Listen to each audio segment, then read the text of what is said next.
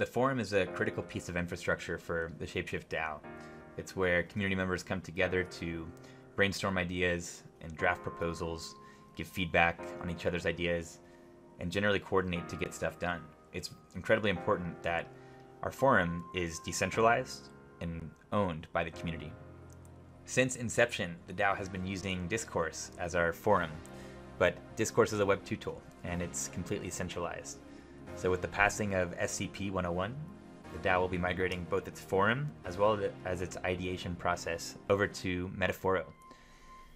Metaforo is a Web3 native forum that has much of the same features as Discourse. It's got the important features of creating topics and adding comments, creating polls, liking comments, but it is Web3 native.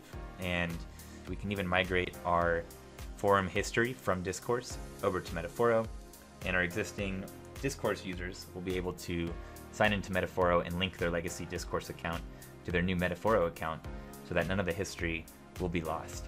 One of the features that we're really excited about with Metaforo is the fact that all of the data is stored on Arweave, which is a decentralized and immutable storage network. So we'll never have to worry about the data being lost due to a single point of failure. And furthermore, this is not yet live, but it's on Metaforo's roadmap, to enable Gnosis safes to be admins, and Shapeshift DAO's treasury is a Gnosis safe. So once this feature goes live, we can transfer admin control of the forum over to the Gnosis safe and give the community true ownership of its own forum. Metaforo offers some really awesome Web3 native features. So not only can you sign up with your email, but you can also sign in with your wallet and then set an NFT as your profile picture if you'd like. They also support Fox tipping on layer 2, so you can deposit some Fox and then show love for comments that you like without spending gas fees. And further, they support token weighted voting.